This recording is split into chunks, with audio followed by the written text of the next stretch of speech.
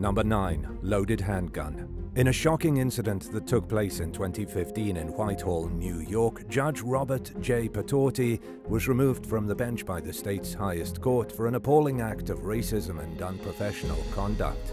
The incident in question involved Judge Putorti pulling out a loaded semi-automatic handgun in court, claiming that he felt threatened by a black defendant he referred to as a big black man. New York's Court of Appeals unanimously ruled that Judge Putorti exploited a racist stereotype, displaying bias or implicit bias against the defendant. The court found that the defendant posed no actual threat and Judge Putorti's actions were unjustified. While judges are permitted to carry concealed firearms on the bench, they can only brandish them when they believe deadly force is being used. In this case, Judge Putorti displayed no remorse for his actions, even going so far as to brag about the incident to other judges and a college journalist, repeatedly making irrelevant racial remarks. Furthermore, the court deemed Judge Putorti unfit for office when he fundraised for a local Elks Lodge on social media in 2021, a prohibited activity for judges. Robert Tembeckjian, the administrator for the State Commission on Judicial Conduct, which brought the case against Judge Putorti, emphasized that brandishing a loaded weapon in court without provocation or justification is inexcusable and incompatible with the role of a judge. Putorti's racially inappropriate remarks didn't help his case either. In an interview with a journalism student, Judge Putorti claimed that he drew his weapon in response to someone rushing toward him, but it was later revealed that the defendant didn't pose a legitimate threat. Judge Putorti repeatedly exaggerated the defendant's physical stature, falsely describing him as agitated, big, and built like a football player. Despite the charges against him, Judge Putorti's re-election failed to deter the Court of Appeals from its decision to remove him from the bench, highlighting the gravity of his actions and their incompatibility with the responsibilities of a judge. Number 8.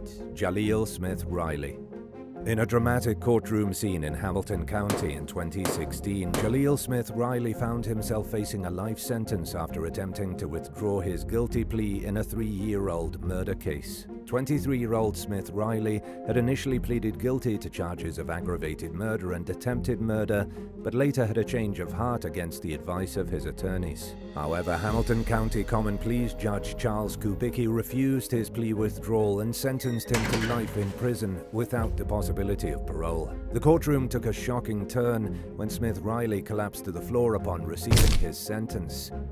Police quickly intervened, helping him to his feet, but then Smith Riley interrupted the proceedings by asking about someone's fate, although it remained unclear who he was referring to. Smith Riley's legal team hinted at a likely appeal, though no formal filing had been made at the time. The case revolved around a 2013 armed robbery in Norwood, where Smith Riley and two other men were involved. Smith Riley approached a parked car, knocked on a window with a handgun, and then proceeded to shoot one of the occupants, Aaron Martin, in the head, while also firing shots at Portia Brooks, who tragically died three days later. Smith Riley had previously confessed to the crime and the court found him guilty despite his attempt to withdraw his plea. During the proceedings, family members of the victim spoke out, asking for the maximum penalty for Smith Riley. Portia Brooks's mother, Sharon Brooks, emotionally expressed the devastating impact on their lives and pleaded for justice. Portia's sister, Tia Marie Brooks, also requested a life sentence without parole for Smith Riley, as they had to face life without their loved one. The courtroom drama and the emotional testimonies only added to the intensity of the case.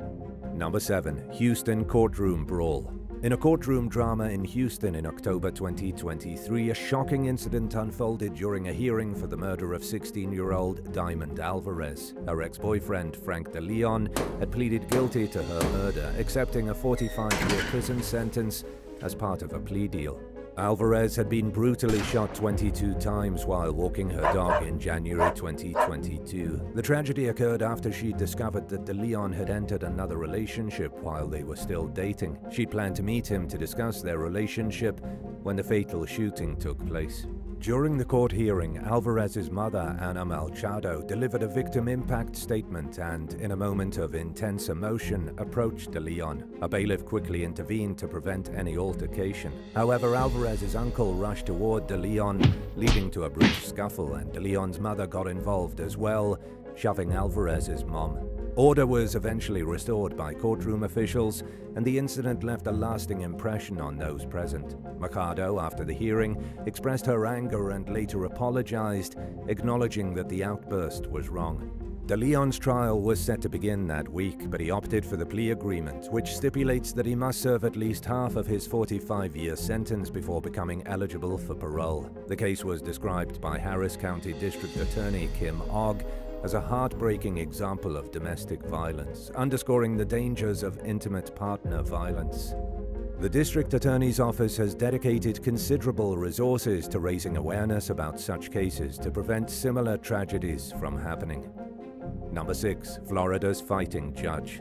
In June 2014, an ordinary legal dispute in a Florida courtroom took a bizarre turn, resulting in the removal of Brevard County Circuit Judge John Murphy from the bench. The incident involved a heated argument between Assistant Public Defender Andrew Weinstock and Judge Murphy over Weinstock's refusal to waive his client's right to a speedy trial. During the exchange, Judge Murphy unexpectedly lost his composure, shouting at Weinstock and even making a physical threat. He said, You know, if I had a rock, I would throw it at you right now. Stop pissing me off. Just sit down. I'll take care of this. I don't need your help. Sit down. Weinstock, however, stood his ground, asserting his right to be present and represent his client. This exchange escalated further when Murphy challenged Weinstock to a physical altercation outside the courtroom, saying, I said sit down. If you want to fight, let's go out back, and I'll just beat your ass. The two men then left the courtroom and were involved in a scuffle, with Murphy alleging that Weinstock threw the first punch, while Weinstock claimed Murphy hit him twice in the face. The courtroom audience, having witnessed the entire episode, responded with claps and laughter when Murphy returned and said, Well, I'm an old man. However, the incident quickly gained notoriety and Judge Murphy became known as the Fighting Judge. In response to the incident, the Florida Supreme Court overturned a previous disciplinary panel's decision and removed Judge Murphy from the bench. The court deemed Murphy's behavior egregious and stated that it demonstrated his unfitness to continue serving as a judge. The court also noted that the judge's actions had eroded public trust in the judicial system and had become a national spectacle, embarrassing Florida's judiciary. The case highlights the importance of maintaining professionalism and decorum in the courtroom, regardless of the circumstances. Judge Murphy's outburst and subsequent physical altercation ultimately led to his removal from the bench, emphasizing the gravity of his misconduct and its impact on the public's faith in the judicial system. Number 5. Demonic Possession. The Devil Made Me Do It case, which took place in Connecticut in February 1981, is a bizarre and sensational story in legal history.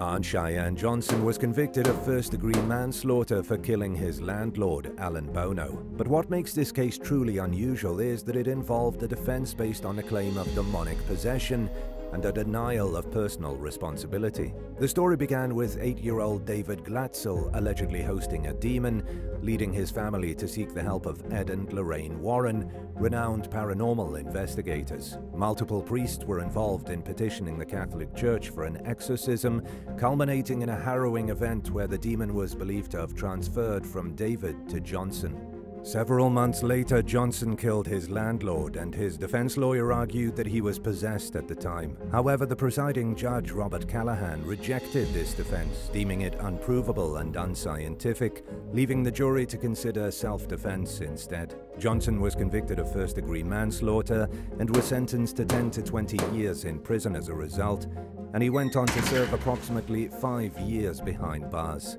The case garnered international media attention, inspiring books, television, films, and ultimately the 2021 movie The Conjuring The Devil Made Me Do It. However, the case's aftermath was marred by controversy, with the Glatzel family suing authors and publishers for violating their rights to privacy, libel, and inflicting emotional distress.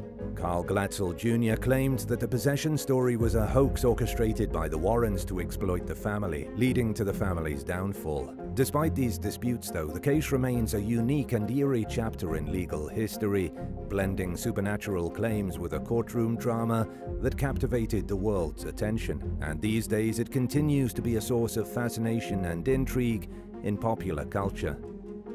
Number 4. Racist remarks from the judge. In a courtroom twist that's both surprising and concerning, two New Jersey judges faced reprimands for making inappropriate remarks that touched on race, ethnicity, and physical disabilities during court proceedings in January 2008. One of the judges, James Citta from Ocean County, faced criticism for ridiculing a defendant's English-speaking abilities and making a comparison to O.J. Simpson. His comments arose when a defense lawyer cited communication issues with the defendant's parole officer who didn't speak Spanish. Citta's response, as reported by the New Jersey Law Journal, was controversial. Citta expressed frustration about various forms of assistance provided to the defendant, including public support and free healthcare, and said he wanted a bilingual probation officer. He even suggested that the defendant should be sent back to Mexico, stating, I take you just as you're dressed and bound right now, and have you escorted back to Mexico forthwith and forget the prison term. And in another instance, he made unfavorable comparisons to O.J. Simpson. The other judge, James Convery from Essex County, faced reprimand for asking a Hispanic lawyer when she became an illegal alien and for making jokes about a litigant's hearing aid as well as their hip and knee replacements. In the end, both judges waived a hearing and accepted a reprimand from the Advisory Committee on Judicial Conduct. Citta acknowledged that being a criminal court judge had taken a toll on him, leading to comments that were better left unsaid. However, the incidents remind us of the importance of maintaining professionalism and sensitivity in the courtroom, where people from diverse backgrounds seek justice. The reprimand sent a clear message about the need for judges to conduct themselves with the utmost decorum, regardless of the challenges they might face in their roles. Number 3. Surprise Sentencing in August 2012, an Ohio high school basketball star, Tony Farmer, had his life's trajectory altered dramatically when he received a three-year prison sentence after pleading guilty to kidnapping, felonious assault, and other charges. Farmer, a 6 foot 7 forward at Garfield Heights High School, had initially aspired to receive probation, and his teachers, coaches, and family members had testified on his behalf. However, as the judge pronounced the prison sentence, Farmer collapsed into the arms of a sheriff's deputy and fell to the ground in anguish. Adding a bizarre twist to the situation, the victim in the case was Farmer's ex-girlfriend, Andrea Lane. Although the two had separated following Farmer's attack on Lane in April, she'd pleaded with Judge Pamela Barker not to send him to prison. Lane expressed her belief in Farmer's inherent goodness, saying, I know he was a good person. I hope he still is. The entire courtroom scene was emotionally charged and difficult to watch, primarily because Farmer had a promising future before the incident occurred. Prior to a video capturing his altercation with Lane, Farmer was a highly regarded basketball prospect, ranked in the top 100, and had garnered interest from prominent colleges such as Ohio State, Xavier, Dayton, and Michigan State. While it's important to acknowledge the wrongdoing of Farmer and the appropriateness of his punishment, the consequences of his actions were severe. Unless Judge Barker decided to reduce his sentence during a review in 180 days, Farmer's dreams of playing major college basketball were seemingly shattered. Number 2. Cyanide Pills in a startling turn of events in a Phoenix courtroom in July 2012, a former Wall Street trader, Michael Marin, collapsed after being found guilty of arson. And it's since been revealed that Marin took his own life by ingesting cyanide, according to an autopsy report released by the Maricopa County Medical Examiner's Office. The autopsy's toxicology tests confirmed the presence of cyanide in Marin's system, shedding light on the mysterious circumstances surrounding his courtroom collapse and subsequent death. The report also mentioned an apparent end-of-life note that Marin had emailed shortly before his passing, as well as the discovery of cyanide in his car. The case had its origins in 2009 when Marin made a bizarre escape from his burning mansion in the Phoenix area. Wearing scuba gear, he emerged from the inferno, leading to a series of legal proceedings that culminated in his arson conviction. The courtroom episode where Marin appeared to ingest something from a sports bottle after the verdict was read was a bewildering and tragic conclusion to his legal ordeal. The revelation of his death by cyanide added a chilling layer to an already perplexing and tragic tragic case, showcasing the complexity of human behavior and the unexpected twists that can occur in a courtroom setting. And now for number one. But if you want to hear even more stories, stay tuned for some extra content that you might have missed. Number one, a serial killer's proposal. During the 1980 Orlando trial for the kidnapping and murder of 12 year old Kimberly Leach, a bizarre courtroom proposal took place. Carole Ann Boone took the stand, intending to marry Ted Bundy. Unable to find a minister to officiate the ceremony and facing opposition from Bundy's defense attorney, she discovered an arcane legal loophole. Under an obscure Florida law, a public declaration made in open court in the presence of court officers could make the marriage valid. Representing himself, Bundy questioned Boone about their relationship, and when Bundy suddenly popped the question, asking, Do you want to marry me? Boone said yes. However, Bundy initially botched his response by saying, I do want to marry you. But after further questioning from the prosecution and another proposal, Bundy corrected his phrasing, and they were married in a truly surreal courtroom moment. 9. Keith Moses 38 year old Nathacha Augustin stopped along a street in Pine Hills, Florida, to offer a young man a ride one day in 2022. And in response, he shot her and fled the scene. Several hours later, Spectrum News 13 journalists Dylan Lyons and Jesse Walden were shot nearby while covering the first shooting. Lyons died from his wounds, but Walden survived with critical injuries. The gunman then proceeded to a home a few streets over and shot a mother and daughter. Sadly, only the mother lived. Police identified the suspect as 19-year-old Keith Moses. He had no known connections to any of the victims except the first person he shot, and the motive behind his alleged crime spree remains unclear. Footage of the suspect's arrest shows several armed deputies approaching Moses on a street. He initially cooperated with their demands, then suddenly yelled, They are killing me, as the cops handcuffed him. Moses then screamed that he couldn't breathe, but a deputy assured him that he could. One of the arresting deputies then speculated that Moses was on some sort of drug. The suspect now faces three first degree murder charges two attempted murder charges, and one count of armed burglary. There hasn't been a conclusion to the case yet, but hopefully Moses will get what he deserves. 8. Mark Brown 34-year-old British escort Alexandra Morgan vanished in 2021 after traveling to a remote farm in East Sussex to meet a man who sought her services online. By the time her remains were found, all that was left of her were some charred bone fragments and teeth. While investigating Morgan's case, detectives zeroed in on a 40-year-old man named Mark Brown as their prime suspect. They discovered that Brown's girlfriend, 33-year-old Leah Ware, had disappeared just months earlier. The two had met in a similar fashion as Brown and Morgan. And for several months, Brown paid for Ware's apartment while carrying out the relationship behind his partner's back. No sign of Ware was ever found, but law enforcement believes that she met a similar end to Morgan, who was locked in a shipping container and kept alive for a certain amount of time before being murdered and burned. When police showed up at Brown's home to arrest him, it didn't seem totally unexpected. He remained calm as an officer explained what he was being taken into custody for and asked if he had anything to say. Brown declined to comment and cooperated with law enforcement. A jury convicted him of both murders, and as a consequence of his horrific actions, he was sentenced to life in prison with a minimum of 49 years.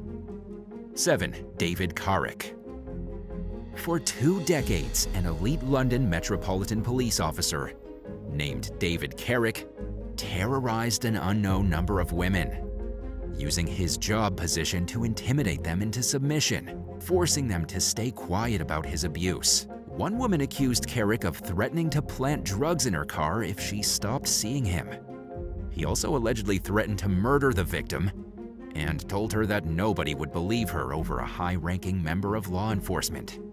He also reminded her that he knew how to make evidence disappear. Other accounts described how Carrick degraded his victims for hours on end, in some cases forcing them to sit in a tiny cupboard while doing other horrific things to them. An investigation found at least nine complaints that women filed against Carrick between 2000 and 2021, including reports of alleged assaults, but no action was taken. And the paper trail ended there when the women either dropped the complaints or declined to formally pursue action. In one case, Carrick was put on administrative duties, but kept his job, despite the seriousness of the allegations he faced. The case finally broke wide open in 2021 when a woman who met Carrick on a Tinder date reported his behavior. In footage of the arrest, the crooked cop seems annoyed to the point of acting arrogant, as if he couldn't believe some low-ranking officers were daring to take a 20-year-old veteran of the force into custody. Carrick's fall off his high horse only continued from there. He was ultimately convicted of 85 crimes against 12 different women and was sentenced to life in prison with a minimum of 30 years. However, authorities believe there are more victims and are encouraging them to come forward. 6. Porfirio Duarte Herrera 42-year-old Porfirio Duarte Herrera got a three-day head start on his prison escape in September of 2022, thanks to the inattentiveness of guards who didn't notice that he'd replaced himself with a cardboard dummy he'd used battery acid to wear away at the window frame of his cell, then ran past an unmanned tower and scaled the facility's perimeter fence. At the time of his escape, Duarte Herrera was serving a life sentence, or at least was supposed to be, for detonating a pipe bomb on top of a parking garage along the Las Vegas Strip in 2007. Unfortunately, as a result of the blast, a hot dog stand worker lost his life. Nevada Governor Steve Sisolak was outraged by the security breach, as well as the fact that nobody noticed Duarte Herrera had escaped until days later. A multi-agency manhunt ensued, and police caught up with the fugitive right as he was about to board a bus out of town, thanks to a keen-eyed employee who recognized Duarte Herrera and called 911. Footage shows officers closing in on the fleeing felon as he waited in line to board a shuttle bus. At first glance, nothing about him stood out. He was wearing new clothes and a baseball cap and had a backpack on. And in the video, an officer can be heard warning Duarte Herrera not to be stupid as they slap the cuffs on him and lead him over to a police vehicle. He didn't say much, but acknowledged that they had the person they were looking for, and admitted that he was trying to get to Tijuana. It's unclear how Duarte Herrera reached Las Vegas from the prison, which is located in the open desert northwest of the city, or how he got his hands on money to buy clothing and a bus ticket. Footage showed someone dropping him off in Las Vegas two days after his escape, but the driver hasn't yet been identified. And after he was captured, officials made the wise decision to move him to a high-security prison in order to avoid any incidents like this in the future. 5. Catron Dones While responding to a domestic violence call during the early morning hours one day in 2022, Broward County Sheriff's deputies arrived at a home in West Park, Florida, to find a young man banging on the front door. Identified in an arrest affidavit as 19-year-old Catron Dones, the suspect allegedly showed up at the residence after his girlfriend found out he was cheating and decided she wanted nothing to do with him. The young woman told police that when he appeared at her door, she dialed 911 and went outside to tell him to leave. She claimed that Dones pushed his way inside, but that she managed to lock him out. Body cam footage shows a deputy approaching Dones with his gun drawn, as he instructs the suspect to stop kicking the door and sit down. Dones challenged the deputy and said he lived at the house. And despite his violent actions, his girlfriend told the responding officers that she didn't want him detained, just that she wanted him to go home. When a deputy approached the suspect and attempted to handcuff him, a struggle ensued, at which point the officer's body cam fell off. The woman who called the cops could be heard begging the police not to shoot Dones and to stop punching him. Other deputies arrived, and at some point, one of their cameras captured grainy footage of what looked like a deputy punching Dones while using a pair of handcuffs like brass knuckles. By then, the suspect was already in cuffs and was unable to defend himself. In early 2023, the Broward Public Defender's Office filed a complaint accusing the deputy who allegedly punched Dones with handcuffs of excessive force. According to the Sun Sentinel, some experts have condemned the deputy's actions as excessive based on the incomplete body cam footage alone. Others, however, believe the deputies may have acted reasonably based on the possibility that Dones posed a continued threat, even if he was already handcuffed. The case remains under administrative review, so it's unclear whether any of the deputies involved in the incident will see consequences for their actions.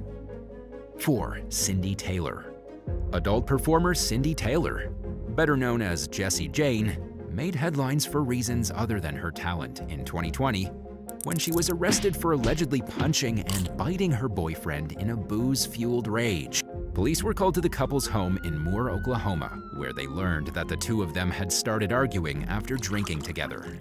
When they arrived, they found Taylor's boyfriend bleeding in the driveway. The alleged victim told responding officers that he awoke to the 39-year-old throwing his medication in the garbage because she believed it was steroids. He claimed that Taylor reacted violently when he confronted her about the discarded pills. Taylor accused her boyfriend of picking her up by the neck and throwing her against a wall. But officers observed no visible injuries. And this wasn't her first run-in with the law involving alcohol-induced drama. In one incident that was captured on camera, she was found passed out drunk on a sidewalk, soaked in her own urine. After trying to get Taylor to call a friend or a cab to come pick her up for several minutes, the police got frustrated with her lack of cooperation and booked her on a public intoxication charge. Taylor told the Daily Mail that she only had two drinks that night and that someone had drugged her. She gave a similar explanation after she was filmed passed out and being carried down the Las Vegas Strip. She seems to be staying out of news headlines since her most recent arrest, though, and she's also retired from her performing career. 3. Velveteen Dream In August of 2022, Orlando police officers responded to a report about an altercation at a local gym. Former WWE wrestler Patrick Clark, better known as Velveteen Dream, allegedly bit and punched an employee who asked him to leave a certain part of the facility that was closed for cleaning. Clark immediately demanded to speak to his lawyer after being handcuffed. When the officers didn't let him, he threatened to sue and erupted into a verbal tirade that continued through the entire ride to the police station. In footage of the arrest, the wrestler could be heard screaming so loudly in a squad car that an officer turned the radio up to drown out the noise coming from the back seat. He also shouted that he worked for WWE, although he'd already left his position with the company more than a year earlier. During another part of the video, Clark admitted to being a little inebriated. He accused an officer of failing to read him his Miranda rights, and he remained stuck on the topic for several minutes. At the police station, he continued to berate the cop, calling him a rookie repeatedly and asking how he could have messed up on giving someone their Miranda rights. In the end, Clark was charged with misdemeanor battery and trespassing on property after receiving a warning, but the case was dropped when the gym employee decided he wasn't interested in pursuing the case. 2. Hope Solo In March of 2022, Police received a report about a woman passed out in her vehicle with the engine running. She'd apparently been there for more than an hour outside a Walmart in Winston-Salem, North Carolina. They arrived to find that the driver was 40-year-old Hope Solo, the former goalkeeper of the U.S. national women's soccer team. Bodycam footage showed the athlete refusing to cooperate with law enforcement, while her toddler twins cried in the back seat of the car. Solo said she'd pulled into the parking lot to take a nap because she was tired, but the responding officer suspected that there was more to the story than she was claiming. He asked Solo how much she'd had to drink, but she denied consuming any alcohol and refused to exit her vehicle or take a field sobriety test. As a result, Solo was charged with driving while intoxicated, resisting arrest, and misdemeanor child abuse. She pleaded guilty to the DWI charge, but the other two were ultimately dropped. The judge imposed a two-year suspended sentence and a 30-day active sentence. and she was credited with time served for spending a month in rehab. In a statement, Solo acknowledged her mistake and said she'd underestimated the damaging effects that alcohol had on her life. 1. Gerardson Mackey when Acworth, Georgia Police Chief Wayne Dennard spotted what looked like an unmarked police car one day in 2022, he didn't recognize it as a vehicle belonging to any known department that operates in the area.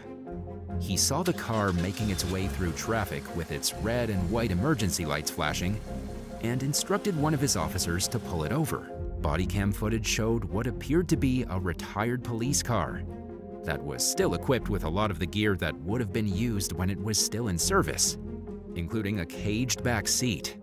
And while it's not necessarily illegal to own one of these vehicles, it's against the law for someone to use the flashing lights if they're not actually a cop. The driver, 33-year-old Gerardson Mackey, was wearing a police uniform with patches that said Georgia on them. He also had on a utility belt, and he flashed a badge at the approaching officer.